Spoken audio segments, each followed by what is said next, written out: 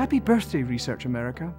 25 years of challenge and achievement during which time you have never deviated from your mission to keep the importance of research and discoveries in health at the forefront of the national debate. Pfizer has been with you since the beginning because we share your vision, namely that investing in research keeps our country competitive.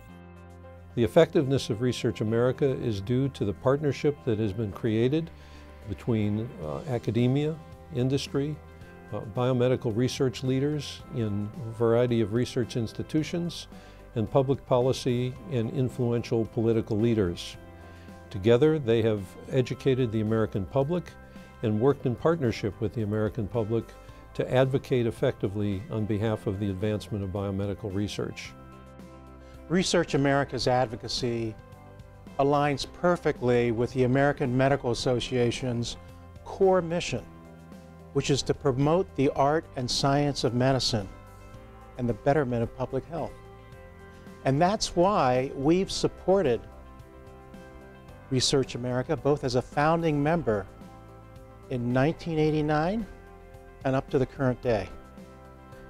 Because these scientific discoveries and innovations form the structure on which physicians build improved care for the citizens of our nation.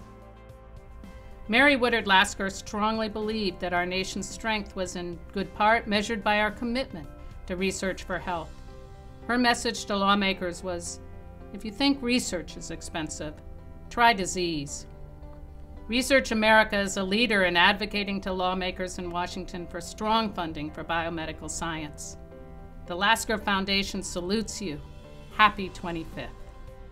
We at the Burroughs Wellcome Fund have long been supporters of Research America.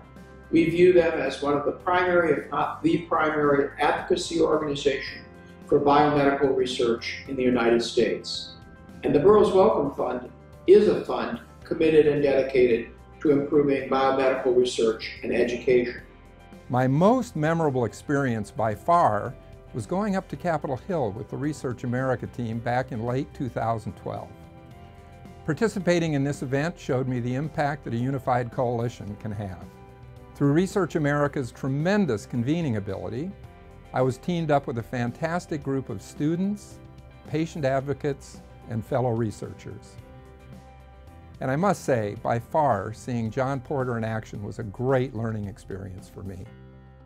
More than any other organization, Research America has a unique ability to bring together individuals and groups who share a commitment to the promise of science.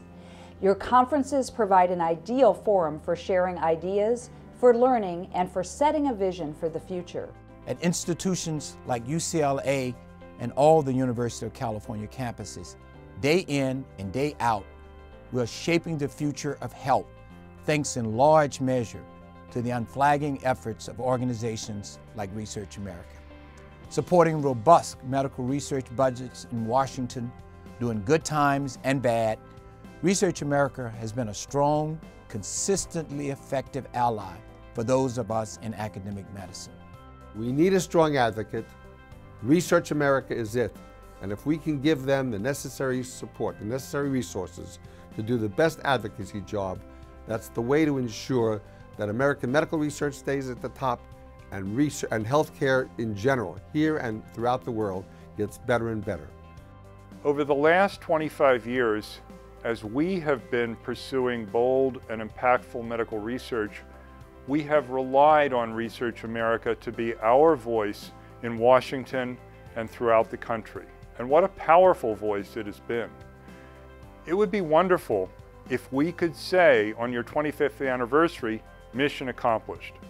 But unfortunately, as we know all too well, the challenges continue to mount. On behalf of the American Cancer Society, I want to congratulate Research America on a quarter century of leadership in support of federal funding for medical research. I'm personally so proud to serve on the Research America board with the Honorable John Porter and so many other dedicated volunteers. I also want to congratulate Mary Woolley, a good friend, on her enormously effective leadership.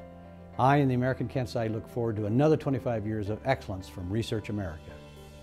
As a driving force to increase federal funding in critical medical research, Research America is the key reason the NIH doubled its research budget in the early 2000s. And they continue to bring together stakeholders and raise awareness for the benefits of investing in, in research. I'm a strong, enthusiastic supporter of Research America, the important work it does in educating the American public and our congressional and state and private sector leaders on the importance of biomedical research.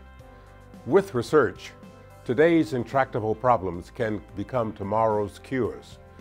I urge all of you to support this organization because it makes a better tomorrow for all of us.